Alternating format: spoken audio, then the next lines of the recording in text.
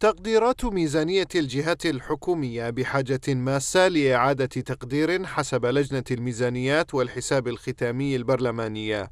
والمبالغة سمة مشتركة لهذه الميزانيات بشكل وصفته اللجنة بمتناقض والدعوات للترشيد مما يجعل من تطوير آلية تقدير هذه الميزانيات ضرورة ملحة.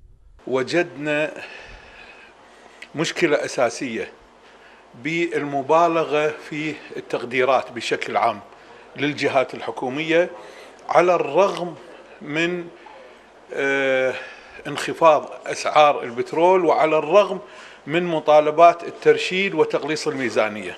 لجنة الميزانيات اعتبرت أيضا إعلان وزارة المالية عن خفض في مصروفات الجهات الحكومية مجرد قطرة في بحر موازنة عامة متضخمة وطالبت بخطوات تصحيحية لإيقاف هذا الهدر.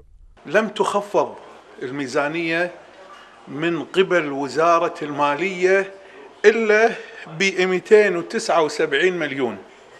يعني الميزانية الحالية تقريبا 19 مليار. والعجز المقدر 12 مليار. الإيرادات مقدرة حوالي 7 مليار. أنا أقول دائما أرقام تقريبية. اللجنة دعت إلى تصحيح حكومي في الميزانية يبدأ بإعادة هيكلة قطاعات وهيئات حكومية تشعبت وينتهي بمبادرات للإصلاح تقودها وزارة المالية. أكدنا ونؤكد على ضرورة تخفيض كل الميزانيات سواء المستقلة أو الملحقة أو الوزارات والجهات الحكومية بنسبة لا تقل عن 20% وهذا الموضوع وصلناه للمشرفين والمسؤولين والوزراء المسؤولين عن هذه الميزانيات.